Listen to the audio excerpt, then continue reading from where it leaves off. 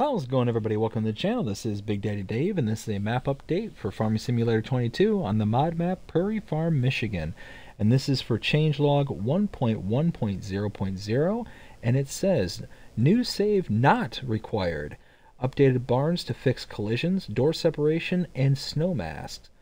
Added tree light decoration, fix shader issue with cattails in winter, added repaint option to workshop shed, removed multiple materials in same node issue.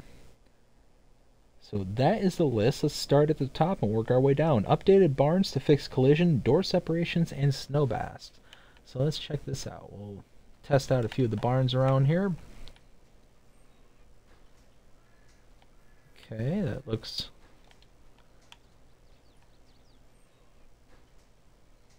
Okay. Seem to be working good.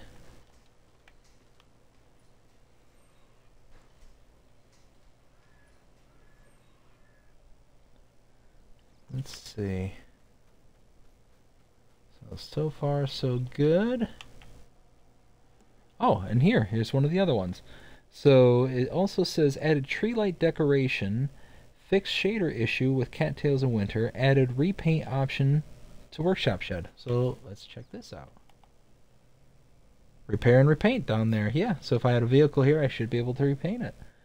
And uh, remove multiple materials. It's same node issue. I don't know what that means.